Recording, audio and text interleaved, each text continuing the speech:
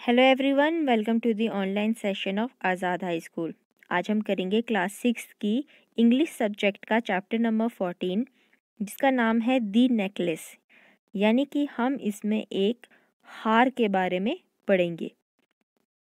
आइए चैप्टर को पढ़ना स्टार्ट करते हैं। बहुत साल पहले एक बहुत ही खूबसूरत और बहुत ही चार्मिंग लड़की का जन्म हुआ था, ठीक है? उसकी खूबसूरती और सुंदरता को देखकर इतनी ही ज़्यादा सुंदरता थी कि लोग समझते थे कि वो एक लग्जीरियस लाइफ जीने के लिए बनी हुई है। लग्जीरियस लाइफ वो होती है ज़िंदगी बुक की, जो कीमती कपड़े पहने एक्सपेंसिव ज्वेलरी पहने, एक बड़े से मैंशन में रहे। ठीक है? सबको लगता था वो ऐसी ही ज़िंदगी जीने के लिए बनी हुई है। और सबको ऐसा भी लगता था कि वह इतनी खूबसूरत है कि कोई भी अमीर आदमी उसे अपनी पत्नी बनाने के लिए तैयार रहेगा। लेकिन किस्मत इतनी ट्रिकी होती है इतनी आ, कमाल का खेल खेलती है कि उसका जो जन्म हुआ वो एक पुअर फैमिली में हुआ एक गरीब घर में ठीक है? उनके पास दहेज में देने के लिए पैसे भी नहीं हुआ करते थे। फाइनली उसकी शादी एक छोटे से क्लर्क के साथ हुई जिसका नाम लोजेल था ठीक है? वो मिनिस्ट्री ऑफ़ एजुकेशन में क्लर्क का काम करता था। और फिर बाद में उसे सब मैडम लोजेल के नाम से जानने लगे। बट वो अपनी लाइफ के साथ बहुत ही नाखुश थी, ठीक है?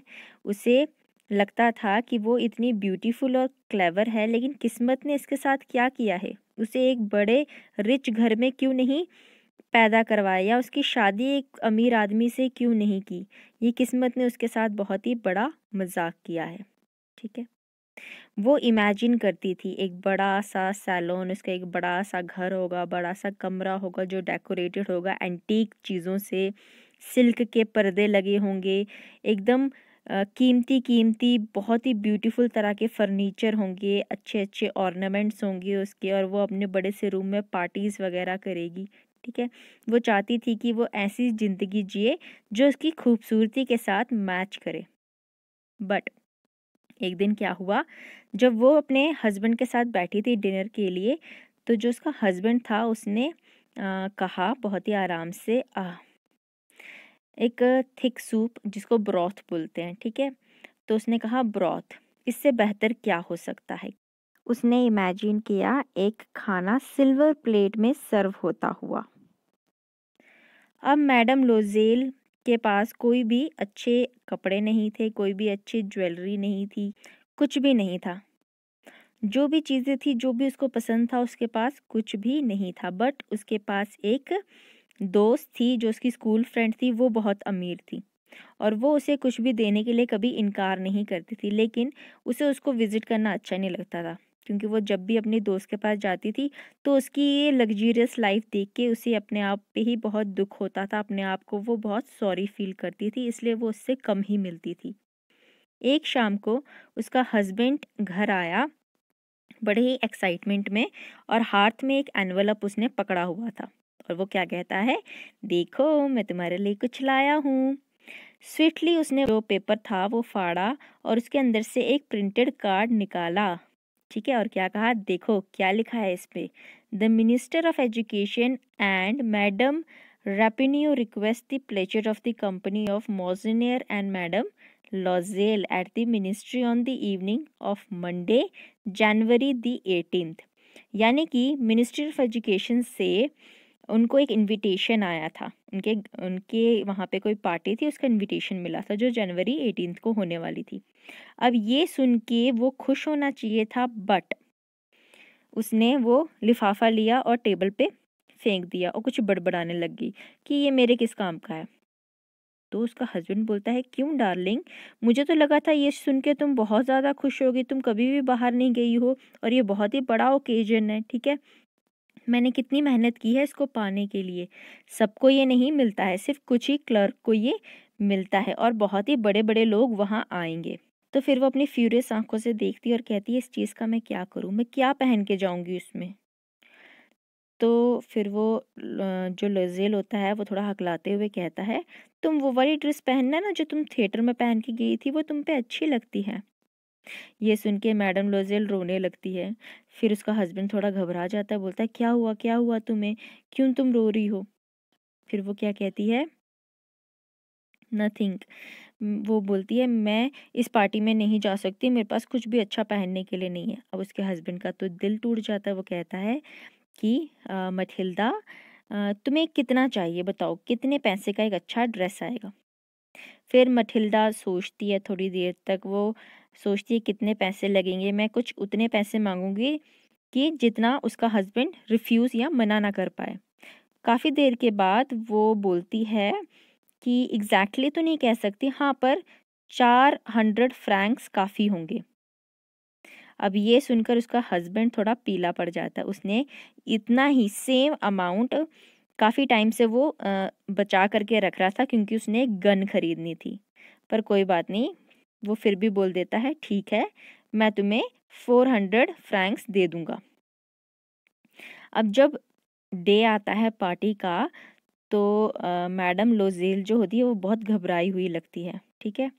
अब एक शाम को उसका हस्बैंड जो है वो उससे कहता है अब क्या हुआ तुम्हें? तुम इतना ऑड बिहेव क्यों कर रही हो? फिर वो कहती है कि आ, मैं अपने नए ड्रेस के साथ क्या करूँ? मैं उसके साथ मुझे पास कुछ मैचिंग ज्वेलरी है ही नहीं। तो फिर उसका हस्बैंड कहता है तुम कितनी स्टूपिड हो। जाओ तुम अपनी दोस्त मैडम फ्रॉस्टेर के पास। तुम उससे कुछ कीमती ज्वेलर्स जो होते हैं ज्वेल वो मांग लेना, उधार मांग लेना। तुम तो उसे अच्छे से जानती हो, वो तुम्हारी दोस्त है। फिर उसकी पत्नी बोलती है हाँ मैंने तो ये सोचा ही नहीं। तो नेक्स्ट डे वो अपने फ्रेंड के पास जाती है, उसको सारी चीज़ें बताती है। तो जो मैडम फ्रॉस्टेर उसकी फ्रेंड होती है, वो उसको अपने ड्रेसिंग रूम में ले जाती है और बोलती है कि चूज़ माई डियर, तुम इसमें से कोई भी अच्छा सा एक नेकलेस चूज़ कर लो। फिर मैडम लोजेल एक फाइन डायमंड का नेकलेस उठाती है, जो उसके गाउन के साथ बिल्कुल मैच कर रहा होता है। जब वो पार्टी में जाती है तो वही सेंटर ऑफ़ द अट्रैक्शन होती है। सब उसको नोटिस कर रहे होते हैं। हर आदमी उसके साथ डांस करना चाहता होता है। सभी औरतें उसकी बहुत तारीफ़ करती है। ये सब कॉम्प्लीमेंट सुन के मैडम लोजेल बहुत ही ज़्यादा खुश हो जाती है। वो उसकी ज़िंदगी का सबसे अच्छा दिन था। जब वो घर पहुँचते हैं तो वो देखती है कि जो उसने नेकलेस लिया था वो गायब है। उसने हर जगह ढूंढा। वो डर गई। अरे, अब मुझे जेल जाना पड़ेगा। हम सब कुछ बेच के भी इतना कीमती थर्टी सिक्स थाउज़ेंड फ्रैंक का चीज़, ये जो नेकलेस था वो नहीं ले सकते फिर उन्होंने क्या किया? इससे मतलब कि प्रिजन से बचने के लिए अपने घर का सब कुछ बेच दिया। एक छोटे से घर में शिफ्ट हो गए।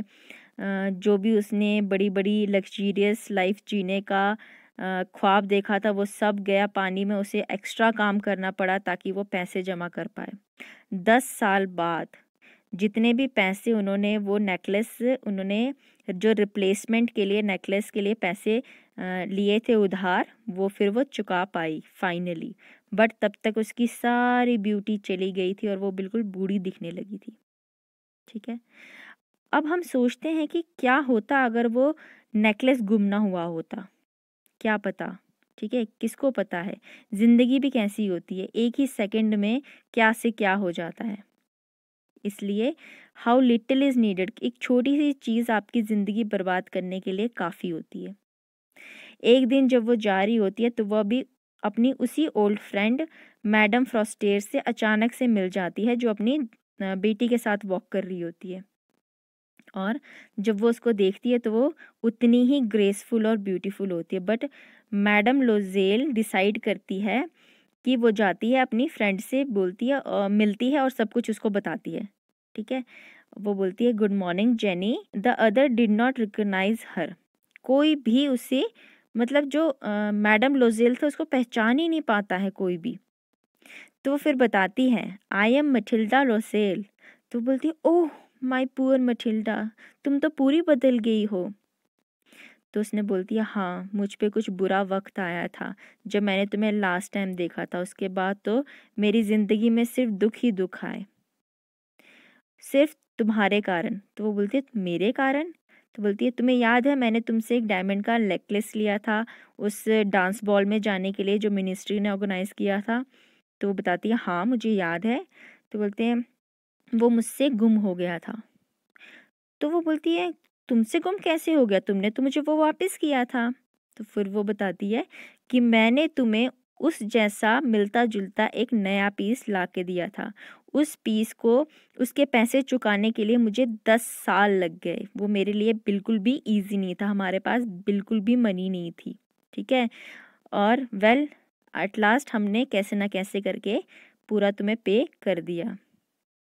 फिर ये सुनकर उसकी दोस्त मैडम फ्रॉस्टर थोड़ी देर तक रुकी। फिर उन्होंने कहा कि तुमने मुझे रिप्लेसमेंट में एक डायमंड नेकलेस दिया। फिर वो स्माइल करती है और बोलती है कि मैं बहुत ही डीपली मूव्ड हूँ कि तुम दोनों ने इतनी मेहनत करके, इतना कुछ करके ये चीज़ें की, बट मेरी प्यारी दोस्त पुअर मटिल्डा, वो जो मेरा नेकलेस था, वो एक नकल थी। असली डायमंड का नहीं था, एक इमिटेशन थी। इमिटेशन मतलब मिलता जुलता नकली टाइप का। ठीक है? वो ज़्यादा से ज़्यादा फाइव हंड्रेड फ्रैंक्स का ही होगा, इतना कीमती नहीं था। तो ये थी हमारी स्टोरी अबाउट दी नेकलेस यहाँ पे बताया है कि अगर वो अपनी दोस्त या अपनी फ्रेंड से पहले ही ये सब चीज़ें बता देती तो उन्हें इतनी मेहनत, इतना दुख झेलने की ज़रूरत नहीं पड़ती। और टाइम के साथ साथ एक पल की ज़िंदगी जीने के लिए जो उसे इतने सालों का दुख झेलना पड़ा, ये भी ना होता। ठीक है? तो देखा जाए तो जो आपकी जैसी ज़िंदगी होती है, आपको वैसे ही वह व्यतीत करनी चाहिए। आपके पास जो चीज़ें हैं आप उसी में से ही खुशियाँ ढूंढ सकते हो। एक्स्ट्रा चीज़ों के लिए बाद में उसकी बहुत कीमत चुकानी पड़ती है। ठीक है? तो इसीलिए जो चीज़ें हैं उनमें ही अपनी जीवन को अच्छा बनाने की कोशिश करनी चाहिए।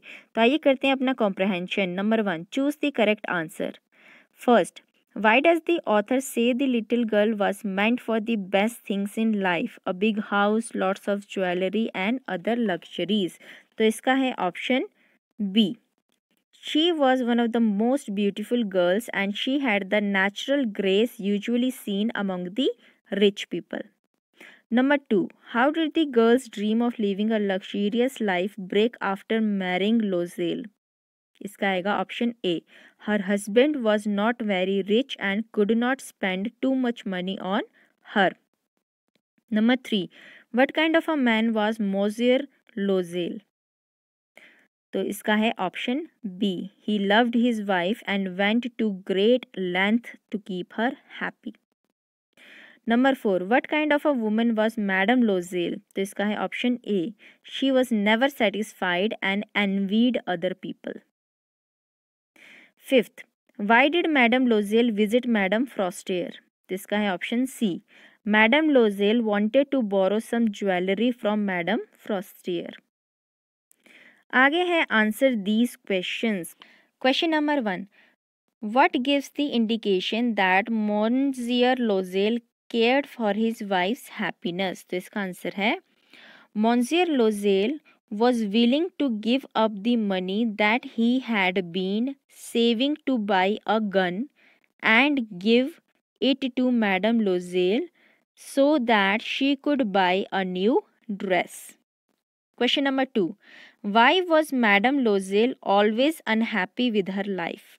तो इसमें लिखेंगे आप Madame Loisel was always unhappy with her life as she believed that she deserved to be very rich and live a luxurious life. Full stop.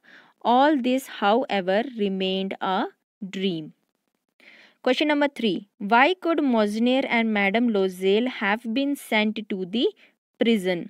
तो इसमें आप लिखेंगे Monsieur and Madame Loisel could have been sent to the prison because they lost the borrowed diamond necklace full stop they could have been accused of stealing it question number 4 what did Mosner and Madame Loisel do when they could not find the necklace तो इसका answer आप लिखेंगे Mosner and Madame Loisel had to buy a new necklace when they could not find the necklace that they borrowed Question number 5.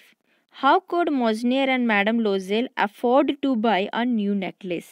तो इसका answer है Monsieur and Madame Loisel sold everything they had and borrowed the rest of the amount to buy a new necklace. Question number 6. How did Monsieur and Madame Loisel pay back 36,000 francs? This answer है. They sold their house and moved into a smaller one. Monsieur Loisel worked two jobs and Madame Loisel had to do the housework all by herself. Question number 7. What shock did Madame Loisel receive in the end when she met Madame Frostier? इसका answer है Madame Loisel find out found out that the diamond necklace which she had lost was in fact not a real one, comma, but an imitation. Question number 8. do you think that Madame Loisel's life became easier as she grew up from a small girl to a young woman? Why not? This answer है Madame Loisel's life became more difficult as she grew up. Full stop. Her greed and desire for a better life ultimately made them poor, comma, and she lost all her beauty that she was proud of. आगे करेंगे हम vocabulary यहाँ आपको बहुत सारे words दिखाए गए हैं, ठीक है? इंग्लिश वर्ड जैसे कि कॉम्प्लीमेंट की बोलने में है, पर उसकी स्पेलिंग उसके ही बोलने जैसा एक और वर्ड है कॉम्प्लीमेंट दोनों की अलग अलग स्पेलिंग है और इनके मतलब भी क्या होते हैं? डिफरेंट डिफरेंट होते हैं राइट बी वन करेंगे हम exercise choose the correct meaning of the each word rights its number in the circle anxious anxious का मीनिंग होता है बी वाला। वरीड अबाउट समथिंग और ईगर का मीनिंग है A waiting impatiently for something second में है एम्प्लॉय तो इसका आएगा ऑप्शन ए यूज़ समबडी और something for a particular task imply का मतलब होता है point out specifically third accept इसका है option A agree to take on something और सेकंड वाले एक्सेप्ट का मतलब होता है C not including something fourth है इनक्रेडिबल इसका है ऑप्शन बी एस्टोनिशिंग और इनक्रेड्यूलस का मतलब है option C not able to believe fifth है लग्जीरियस इसका है option C something which is of high quality and rich in texture और जो नेक्स्ट दिया है लक्ष्यूरियंट इसका है option B growing thickly and strongly six है अवर्स। इसका मीनिंग है option A, not wanting to do something. और एडवर्स का मीनिंग होता है ऑप्शन सी, अपोजिंग और negative.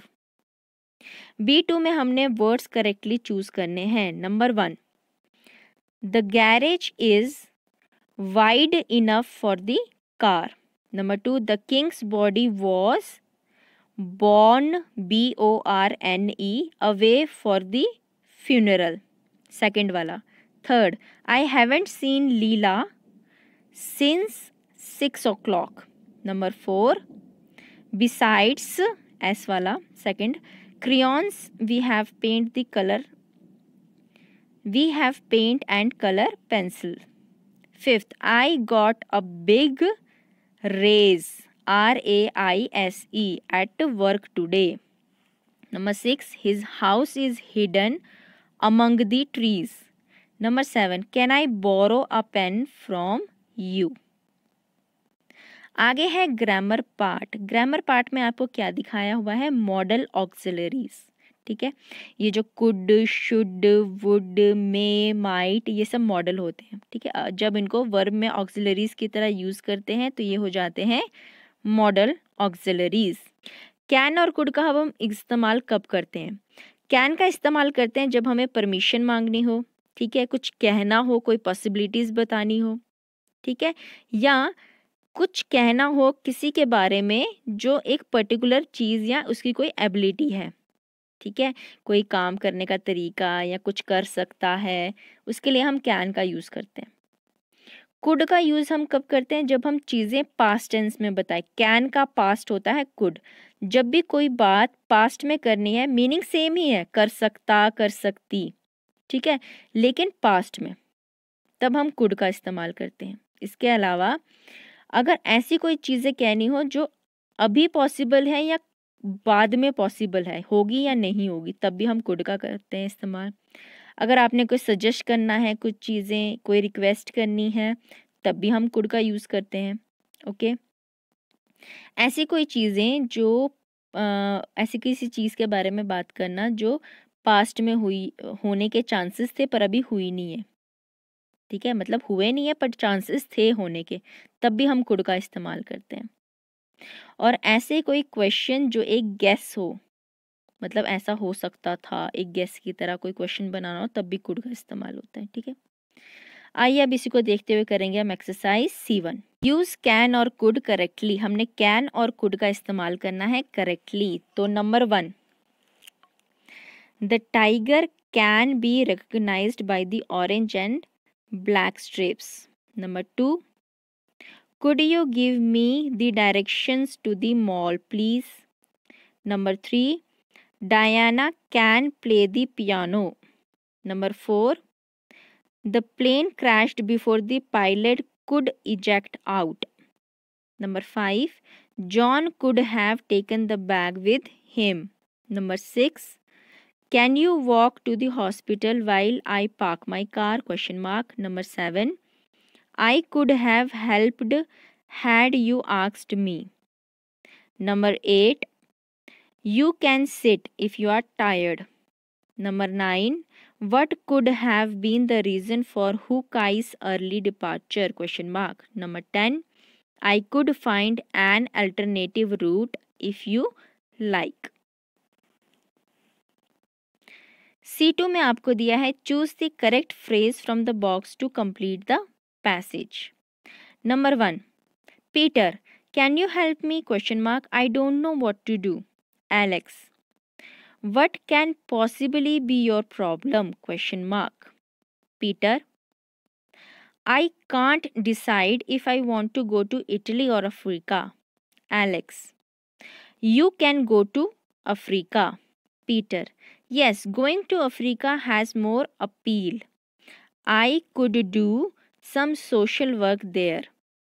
I can work for the United Nations organization or I could even volunteer as a doctor तो बच्चों, यहाँ पे आपका ये चैप्टर ख़त्म होता है। आई होप आपको समझ में आया होगा। अगर आपको मेरी वीडियो पसंद आए, इसे लाइक ज़रूर करें। Thank you so much and have a nice day